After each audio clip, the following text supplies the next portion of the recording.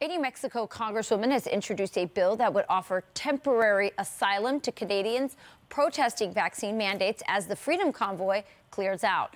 This weekend, Ottawa police towed nearly 100 vehicles and arrested close to 200 activists. Congresswoman Yvette Herrell says the country's reaction is similar to that of authoritarian regime like Venezuela, and she joins us now. Congresswoman, welcome. I couldn't agree with you more. In fact, I just interviewed somebody who was an eyewitness um, there at the at the convoy protest and said that he believes that they are using police brutality to incite and provoke the uh, truckers in order to justify this crackdown on their rights to protest and oppose the government.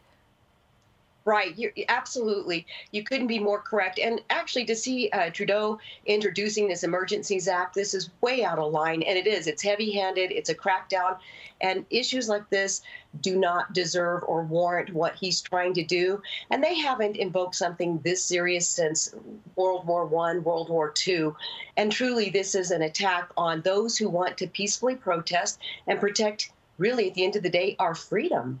So you're offering asylum. What does that look like? Or your bill so will? Yeah. So the language in the bill is offering temporary asylum, just as we do uh, political asylum for those from Venezuela and other countries. And what it would do is let's give them asylum. Let's protect them from their heavy handed government.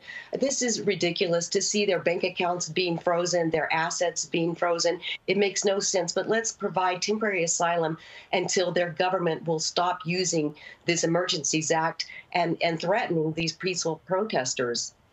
Yeah, you know, it is so similar to what you see in, in Cuba, in, Russia, um, and especially in China. And you mentioned the financial warfare that is being waged against the, not just the truckers, but anyone who wants to send um, a donation. They're being threatened with their livelihood. And as you said, they're using these emergency um, powers uh, that they say are te uh, temporary, um, but we never know how temporary they are. Are you worried that some of these tactics that are using by, being used by Canada, um, uh, with the exception of few people like you who are really calling out the authoritarianism, that this is going to bleed into the way America operates. I mean, you're seeing some of the same words like, oh, they're insurrectionists, they're white supremacists, they're Trump supporters. That's what they're calling some of the truckers as well.